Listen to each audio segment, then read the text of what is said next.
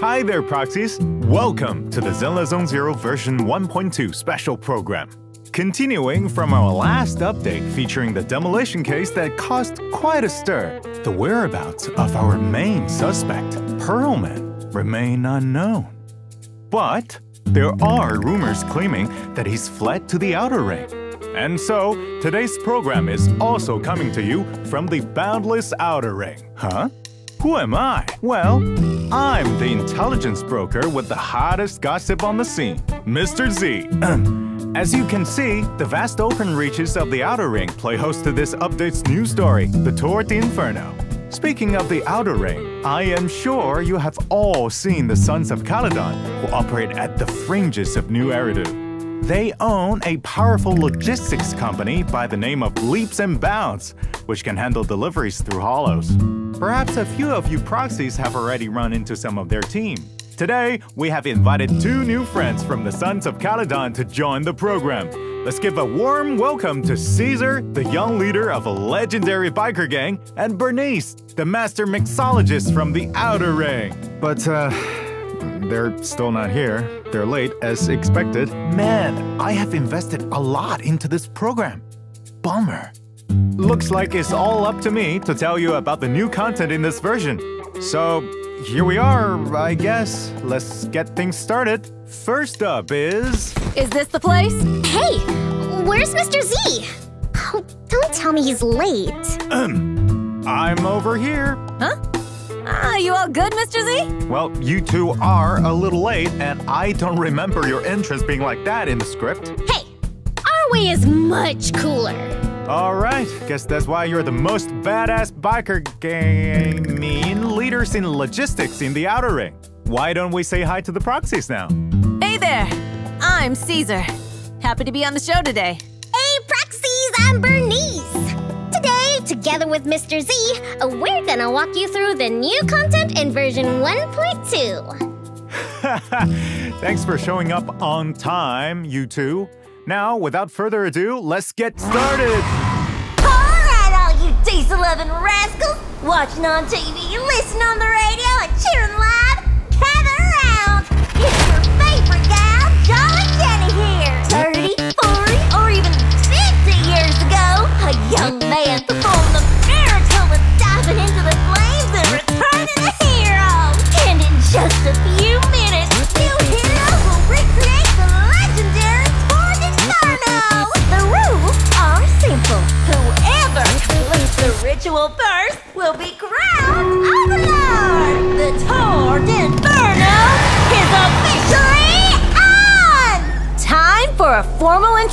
We're the Sons of Calydon. I'm the current boss, Caesar.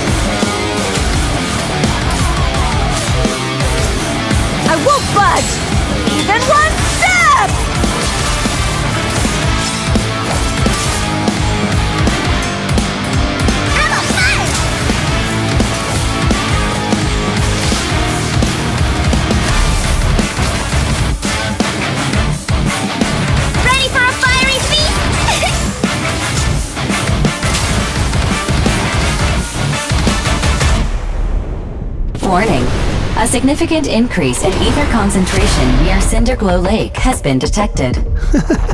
The weak and the worthless have no place in this age. With the power of ether, I will establish a new order in this leaderless outer ring. A kingdom completely under my control!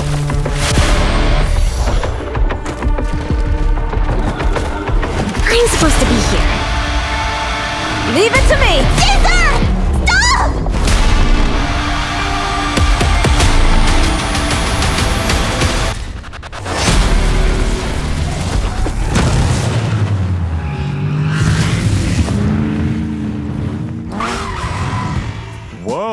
That looks incredible! It appears that the wide open wasteland of the Outer Ring actually has an underground side to it. And when it comes to this place, I'm sure you two are the experts. Could you please give the proxies some insight here? Mm-hmm. Leave it to me. The Outer Ring is what people call this underdeveloped zone outside the main urban area of New Eridu. It's farther out than both Janus and Faunus quarters, and closer to this desert wilderness, which you don't get to see inside the city. And while it may not be as rich as the big city, it's blessed with a unique local asset oil. That's right, this was the fuel resource used during the old civilization.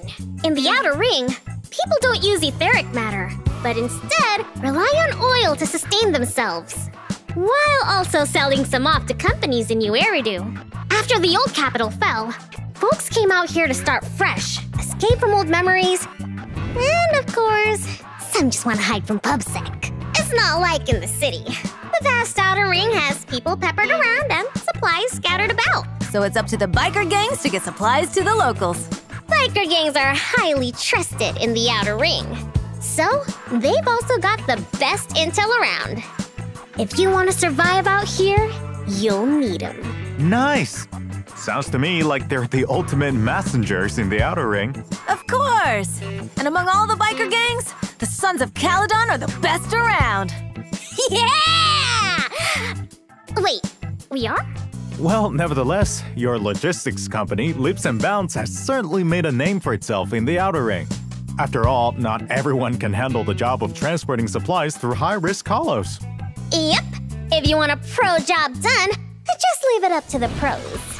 Yep, and as you might have guessed, we're called a biker gang for a reason. We all ride motorcycles in this version's adventure. Proxies will also get to experience the thrill and joy of riding a motorcycle. Vroom, vroom! Yep, skis. Come race with us in the outer ring. And as the baddest biker gang around, we got loads of members. Our biggest baddie is the young leader of the Sons of Calydon, Caesar. Hey, if we're talking fame, you're clearly the real star here. Nah, nah, I'm just your average mixologist, running the underground drinks operation. As for what kinds of drinks Bernice sells, well, we're not really at liberty to say right now. But it's safe to say that her drinks are famous throughout the outer ring.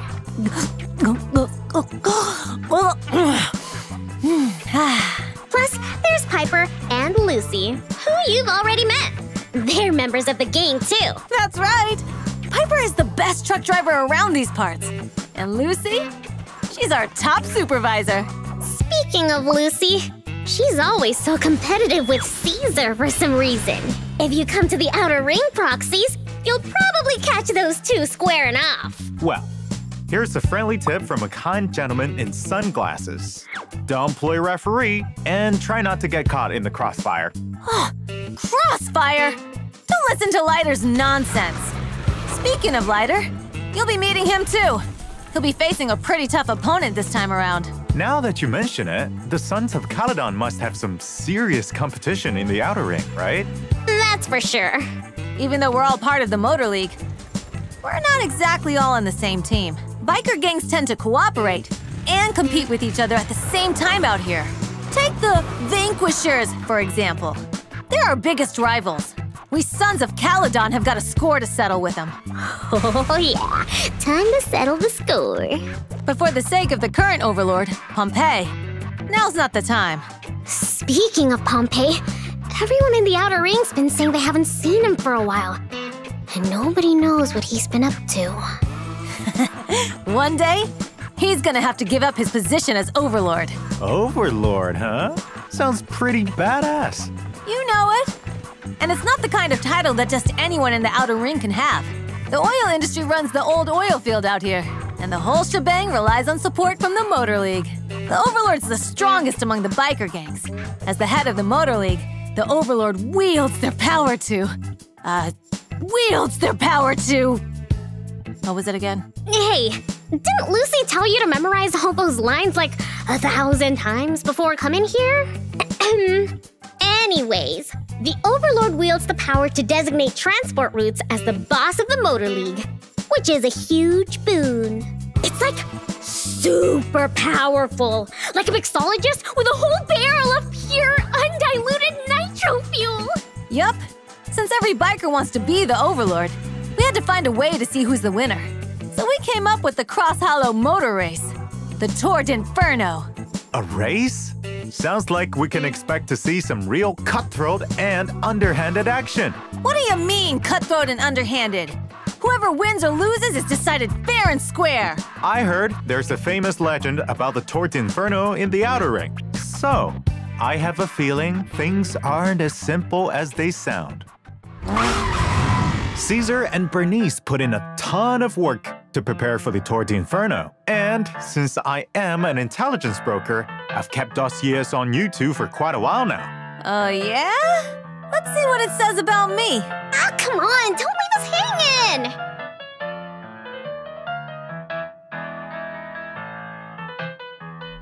Caesar King, the most badass rider in the Outer Ring. An S-rank physical defense agent, adept at using both sword and shield in combat. When the enemy launches an attack, if Caesar successfully blocks it with her shield, it triggers a perfect block, allowing her to negate the damage and immediately follow up with the next move of a special attack or EX special attack. When she triggers a perfect block, defensive assist, or meets other certain requirements, she applies debuffs to surrounding enemies, allowing her squad members to deal more damage to them. Play it right, and it can be a slick way to attack and debuff at the same time. That's correct. When Caesar is in combat, she can protect on-field squad members and boost their anti-interrupt level by providing a shield with her EX special attack, chain attack, and ultimate. When launching her ult, Caesar swings her shield and charges into the battlefield in the Overlord's Grace stance, dealing damage to enemies. Yep. I might be a defense agent, but that's because it's what I'm best at. I still know how to make the pain rain. That's Caesar for you. She can take a hit and strike back twice as hard.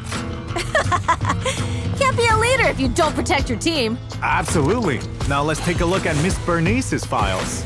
Miss Bernice is an S-rank fire anomaly agent who fights with dual flamethrowers.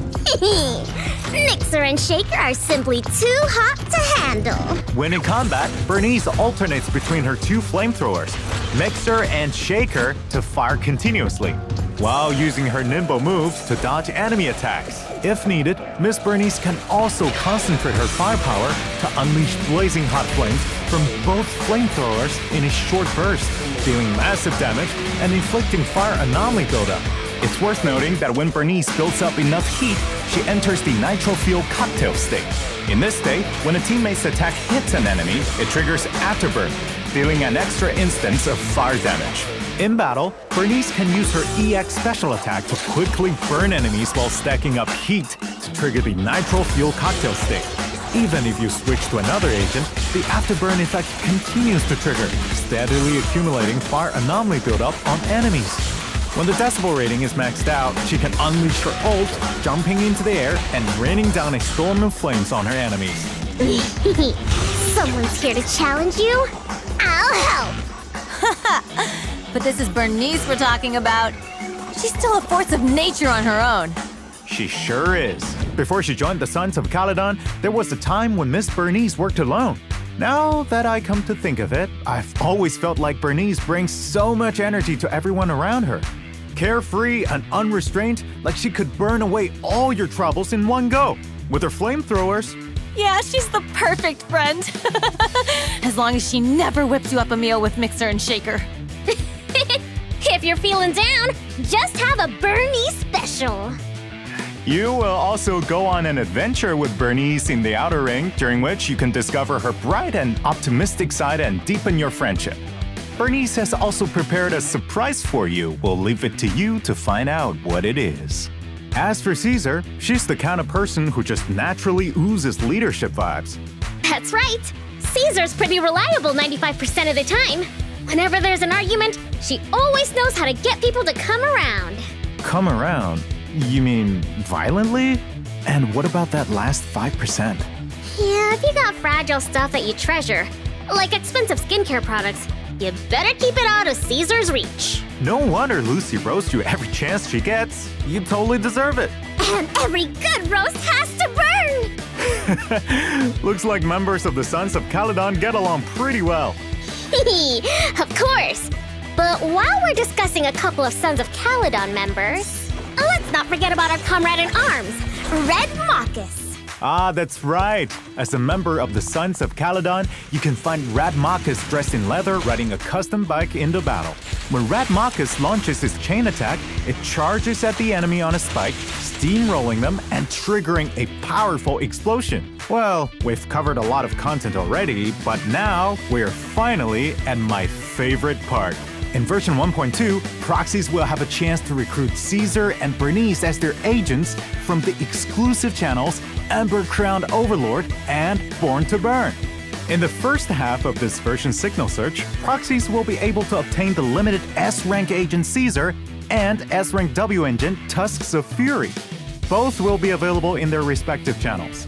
We look forward to working with you, Phaethon. And in the second half, Miss Bernice will be making her appearance in her own signal search.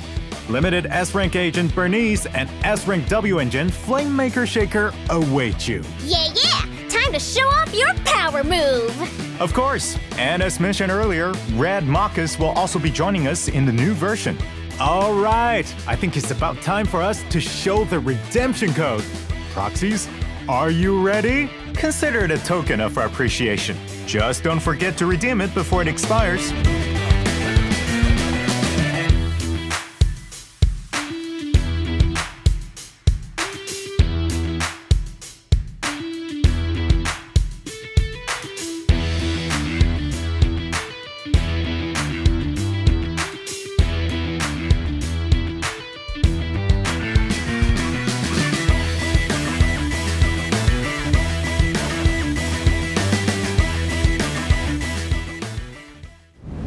From the exciting main storyline, there will also be many fun events that you won't want to miss in version 1.2. It all started in a diner in the Outer Ring. Oh? Isn't this Blazewood? That's right. During the Overlord's Feast event, proxies will take on a commission from the mayor of Blazewood and revamp an old diner.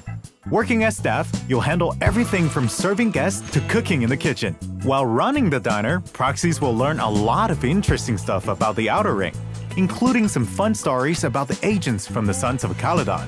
Also, as a reward, proxies will get to contract A-rank agent Lucy. Now it's your turn, Proxies. Brace yourselves for some classic Lady Lucy sass. Next up, a new minigame called Bizarre Brigade will be available at Osh's Arcade. As far as I know, players take on the role of a little traveler in the game and fight off enemies with the friends you meet along the way. That's right. Players can get a variety of random items during the different exploration stages, which will have a huge impact on your fighting style and ability to survive. Ooh, sounds like there'll be something new every time you play the game. It's also worth mentioning that apart from earning polychromes by completing the event, proxies will also be able to unlock more new characters in the minigame.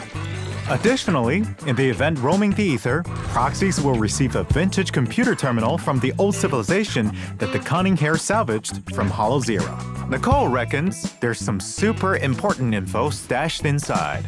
Nicole's gifts always keep me on my toes. I wonder what that info could be. Yeah, who knows? It will be up to the proxies and Fairy to find out. Now, let's switch things up and head back to New Eridu for some fun and casual activities. Psst! There will be hidden puzzles at the newsstand for you to discover. You heard her right, Proxies. You'll be able to join the Redo Tours puzzle event at the newsstand and unlock different puzzles which depict some interesting stories about New Eridu. Oh, and you'll also be able to earn polychromes and name cards as rewards for completing the event. Speaking of which, One for One convenience store is leading the way in setting up a neighborhood night market, right? Oh, yeah. Looks like I'm not the only one with an inside scoop. You know it. Anyway, Shaw will work with proxies to bring this market together. If you manage to complete the tasks, then there will be some fantastic rewards to thank you for helping out. Ooh! Besides this casual event, we have also added a new series of combat commissions in version 1.2. So be sure to check those out if you're interested. Additionally, there will be some new challenges winning a Notorious Hunt and Expert Challenge for proxies to try out in the new version. And that's not all. We also have new drive discs coming in this update, Chaos Jazz and Protopunk. Proxies can obtain them from new stages in routine cleanup. To provide proxies with a better experience, version 1.2 will have a limited time event where you can obtain double the drops. So you should be able to get your hands on the materials you need in no time. Don't forget, we've also got other events lined up waiting for you all to discover that are just as cool. I heard There'll be some fun new game modes in version 1.2. That's right. A brand new game mode, Investigator Training Course, will become available in version 1.2. This mode offers four different courses where you can get a taste of what it's like to be a Hollow investigator and learn some basic and practical knowledge about Hollow exploration.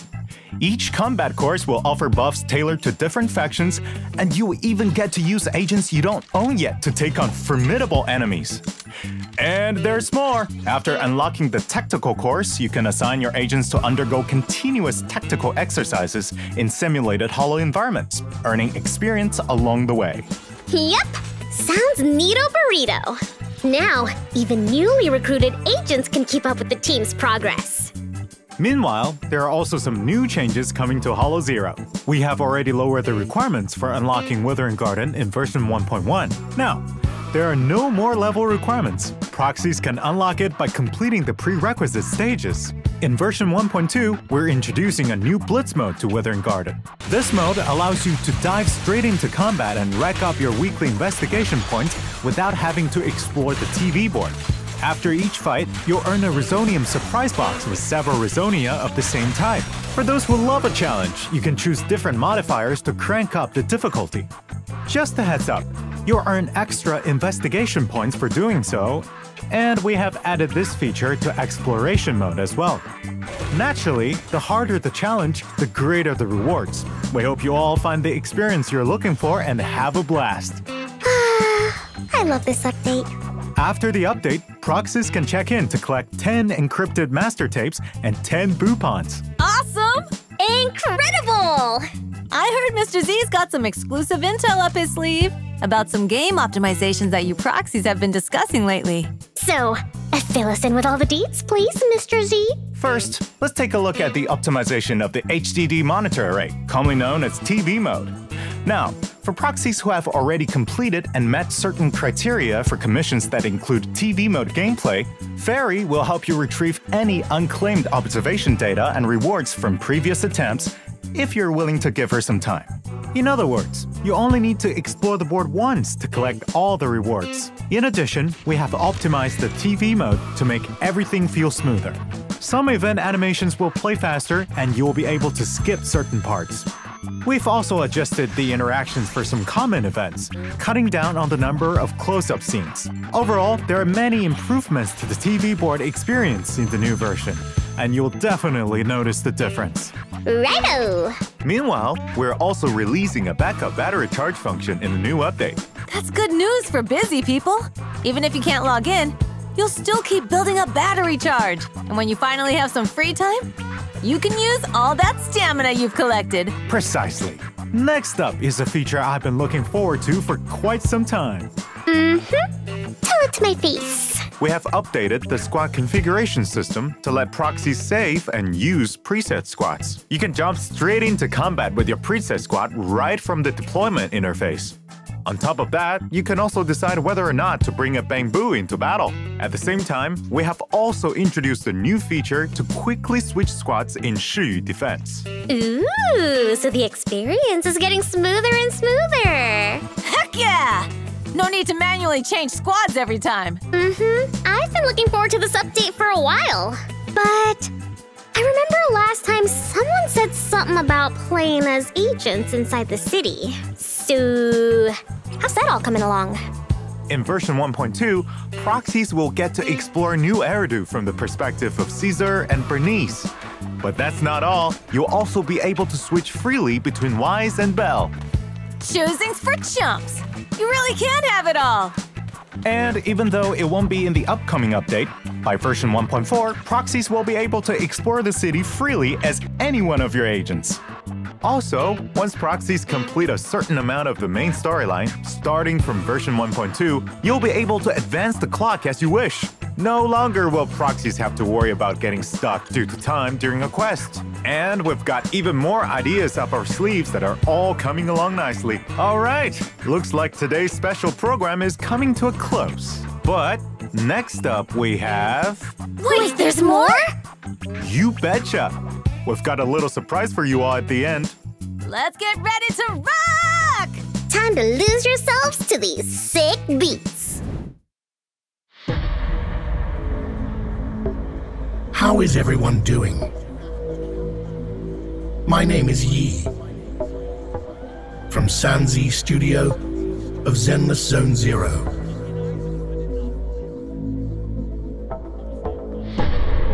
Rather than me introducing myself, let's all get started and enjoy the music. Yeah? So, Proxies, are you ready to enter the hollow?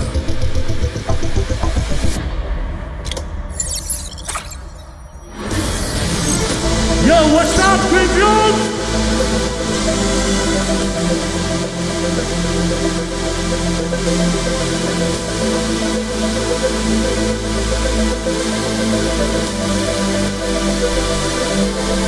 me some energy, okay?